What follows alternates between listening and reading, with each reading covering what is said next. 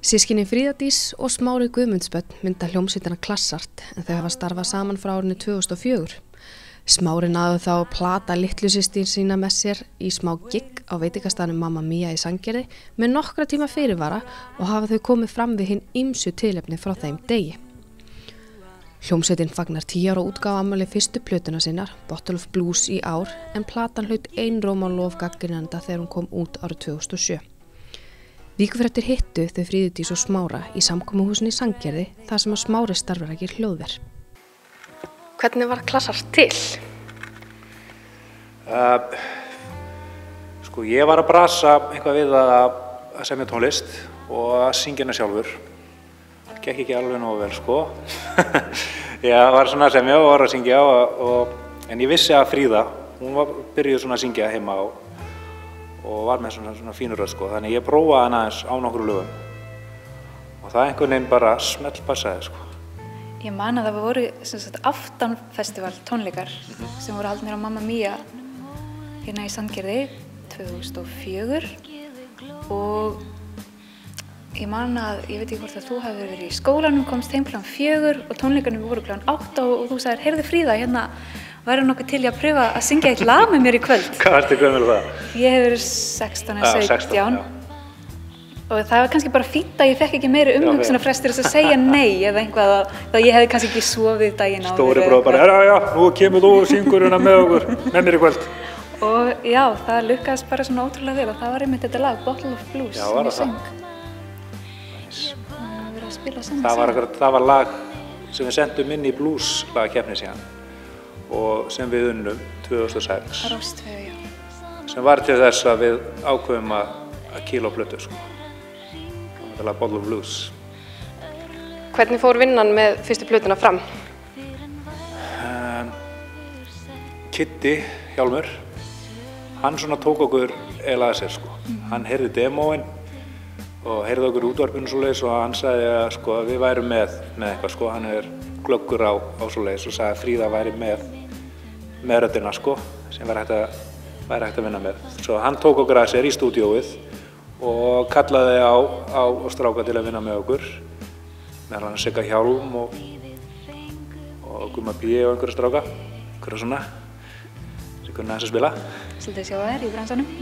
Og, og síðan bara töldum við í bara, við svona röndum bara alltaf blindi sjóin sko. Já. Við vorum með einhver tíu lög og síðan bara töldum við bara í og hefnaði svona svakalega sko. Það var einhvern veginn svo góður andi yfir þessu. Mm -hmm.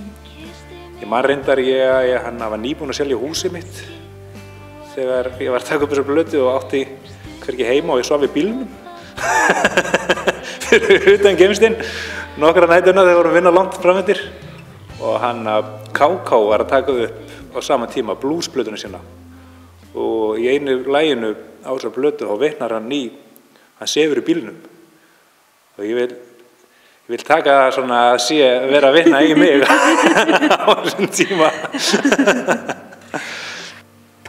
Hefur samstarfið alltaf gengið vel hjá okkur sískinunum? Ég var að segja já eða það hefur Já og jú sko hún náttúrulega Fríða er náttúrulega svo yndislega stelpa sko. ég hef alveg, alveg tekið alveg dýfur og farið upp og niður sko hún hefur vel við erum alltaf staðið, staðið með stóra bróðið sko og við erum eins og stið það sko en svona í gernum árin þá hefur þetta bara verið verið ansið gott sko Já, ég myndi segja það við erum ótrúlega tengd mm -hmm. sem er þá kostur og í samstarfi, ekki satt? Jú, jú. Já. Við, svona, við vitum oftast hvað við viljum gera sko og mm. þurfum oftast ekki að tala saman og svo leiðis hvert ég setja læta henni kannski að fá lag eitthvað svo leiðis og hún veit alveg nákvæmlega um hvað textin á að vera sko og textin kemur tilbaka og ég maður bara veitu hvað er þetta að lesa á hrjónum mín Já, það er, það er svolítið þannig Og hvað hafi verið að gera núna undan farin ár sem klassast? Við höfum við höfum verið bæði í þessu tónlistarlífi að halda tónleika það sem við erum að spila okkur tónlist og svona kannski með stærra bandi en svo hefur líka mikið verið að koma saman bara tvö mm -hmm. svona kjarnina hérna að spila Kóttelbóðum og, og uh, veist, brúðgöpum og, og svo svona leis. Svona tilefnum. Sem er mjög fínt sko, það er gaman að vera í svona, í svona samkomum sko, þetta. Og þetta styrkir líka ótrúlega böndin að hérna, spila svona mikið saman við ólík tilefni líka þá svona þéttir mann. Hvernig á æfingarna verið fyrir tónleikana núna? Það hefur verið mjög góðar. Alveg indislega sko. Þetta er, við erum alveg hvað, 7-8 núna. Já, sjö. Það er svona smá, smá batteri að koma öllum saman á, á sama tíma, á sama stað. en þegar það gerist þá er, rennur þetta ansi ljúft sko. Já, þetta er líka svona svolítið eins og maður sé að ferðast aftur í tíman að, hérna, að spila þessi lög og hérna, rifja upp tilfinningarnar á bakvið þau og þetta er búið að vera skemmtileg tími, já.